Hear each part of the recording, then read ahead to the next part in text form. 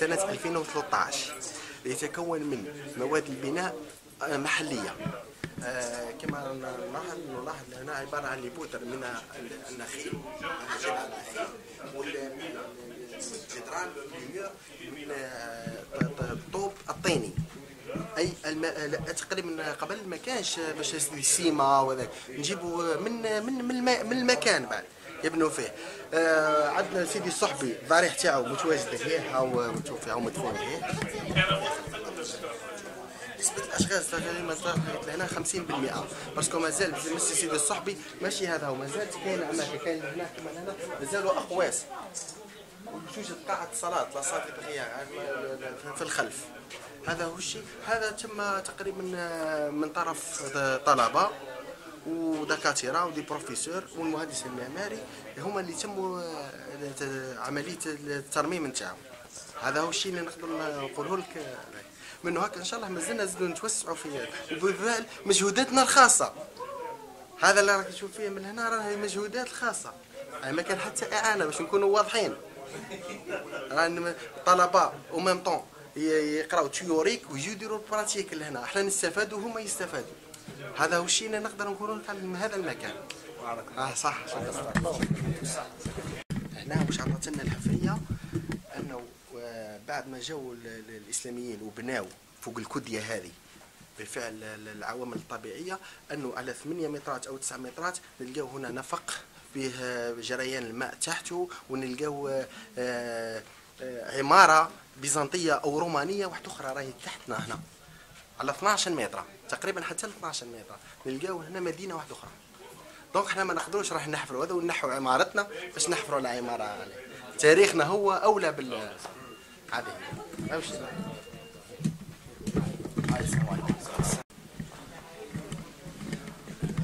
شوفوا دوكا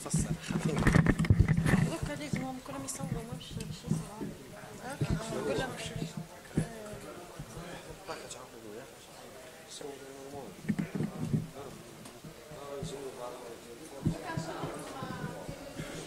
ريحتها النفعه راح تشرح لكم الأخت.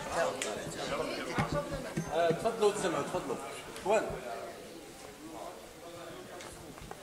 اسمح لي اسمح لي يا بابا.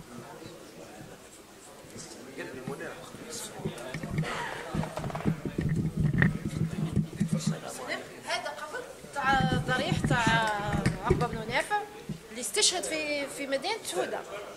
كي استشهد مدينة هدى حسب الروايات ما مش حكاية مؤكدة هي حسب الروايات. يقال أنه جاء الحصان تاعو وجابوها للمنطقة. هو توفى كي توفى القد على الحصان تاعو الحصان تاعو هو اللي جابو هنا. توفى هنا هنا في هذه المنطقة. كي توفى دفنوه هنا. دفنوه كي دفنوه داروا له الضريح. من وراء الضريح؟ حول الضريح بني المسجد. المسجد هذا من أقدم مساجد الجزائر القديمة في الفترة الإسلامية في فترة فتوحات من من ها هاو جاتكم السلام عليكم. الشيخ هذا هو اللي نحوس عليه. هذا هو الشيخ تاعنا.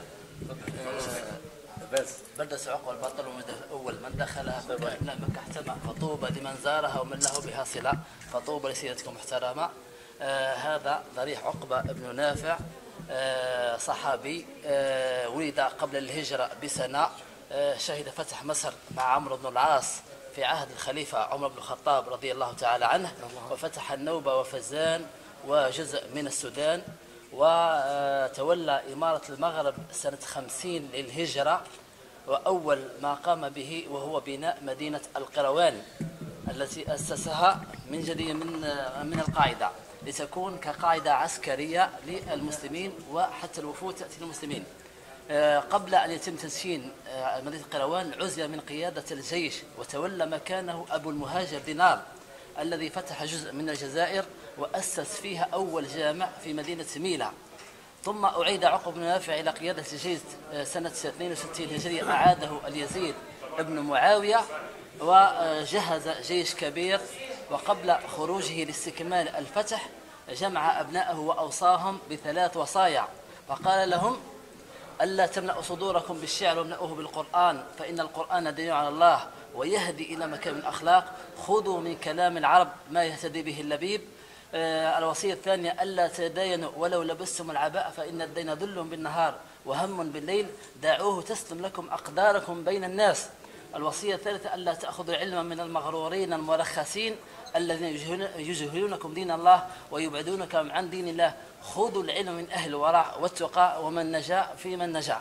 ثم خرج في جيش كبير فتح آه، بدأ منطقة بغاي قرب خنشلة بجيش كبير يطارد الرومان ويفتح لتبليغ الرسالة.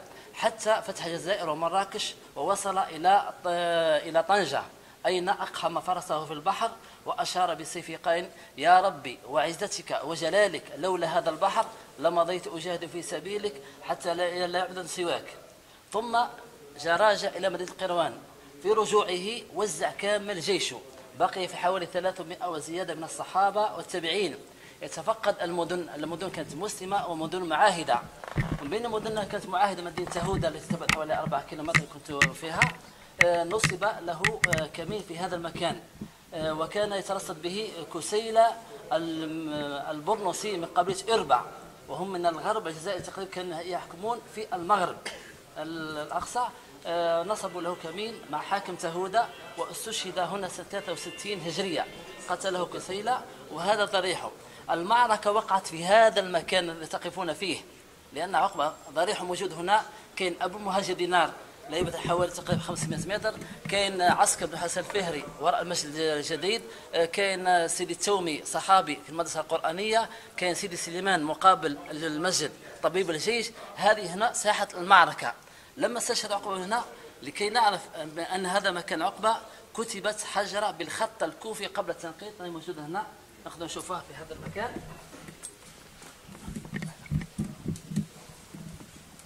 هذه الحجرة مكتوبة بالخط الكوفي وهي إثبات مادي على أن هذا هو قبر عقبة بن نافع مكتوب فيها هذا قبر عقبة بن نافع رحمه الله بدون تنقيط لأن التنقيط وقع في عهد الحجاج وعقبة جاء قبل الحجاج في سنة 63 هجرية. أما بناء المسجد فليس لنا التاريخ بالضبط لكن هناك باب نستدل به على قدام المسجد أهدي إلى المسجد في القرن الرابع هجري. أو في الجنات تنسان روحوا نزيدوا نشوفوا نتكلم عليهم.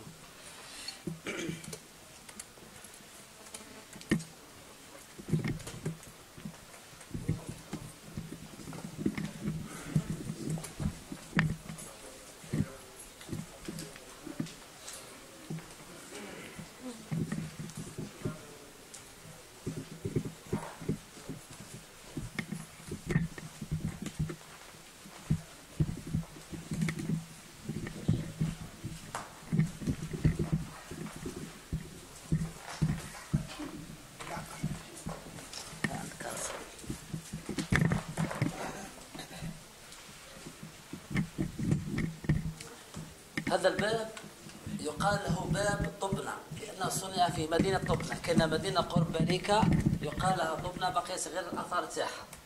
هناك صنع وصنع من شجرة الأرز أو بالفرنسية آه، لسادر أو بالدارجة تاعنا نقول البقنون. الشجرة اللي ياخذ منها القطران. هذا نوع الحطب لأنه يعيش القرون. وأهدي من طرف المعز ابن باديس الصنهاجي في القرن الرابع هجري.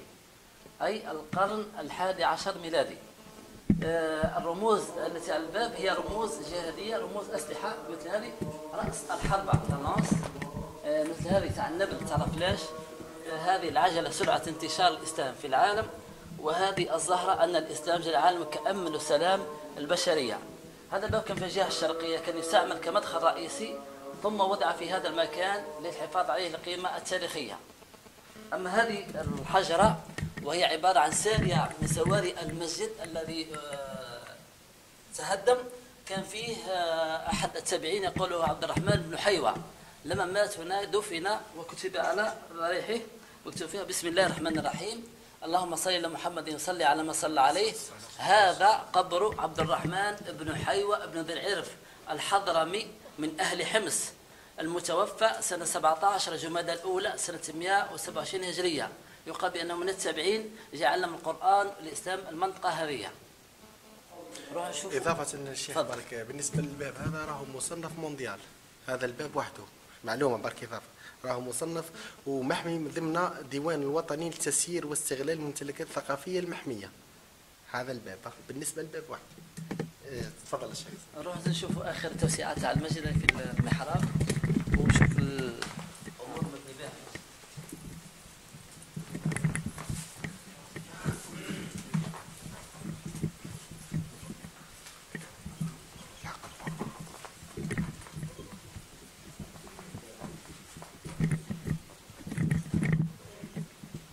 لا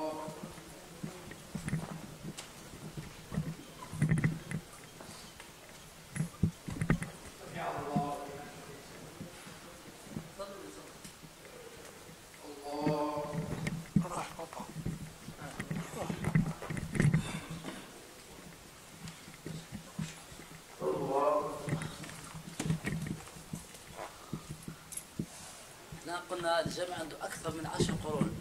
كل مرة تمر عليه ترميمات آخر التوسعة المسجد مكتوب هنا في المحراب مكتوب فيها بنى هذا المسجد المفخم. محمد بن كبير التونسي وفقه الله يقول المهندس الذي أشرف على البناء هذا هو أصله من تونس. بعد الحمد لله هذه تذكرتنا من نظر فيها بعدما يدعو لنا بالرحمة والغفران لكاتبها أحمد بن الحاج محمد بن الحشوتي هذا كان شيخ البلاد وكان متوكل بالأمور تاع المسجد. بعد العافية الباقية العالية قد تم بنيانه على يد أسطى بمعنى مهندس باللغة التركية لأن وقعت في عهد الأتراك محمد بن الكبير التونسي عام 1214 هجرية. تقريبا موافق ل 1790 95 ميلادي. الشكل هذا شوف ها، السقف نتاع النخيل كذلك جذوع الأعمدة هذه العرس جذوع النخيل مغلفة بالجبس. هذه فوانيس قديمة كانت تمشي بسيط هذه بالنسبة للجذوع هذه قبل الترميم. وهذا الشيء لازم تحطه في البلافون هذاك هذا هو الشيء المرمم؟ وإنما تركت عينه لكي يظهر في فيما كان من السابق هي. ونفس الفسيفساء ونفس القريب تلقاها في تونس في القيروان نفسها نفس الطراز. نفس الطراز. هذا الشيء بارك الله فيك.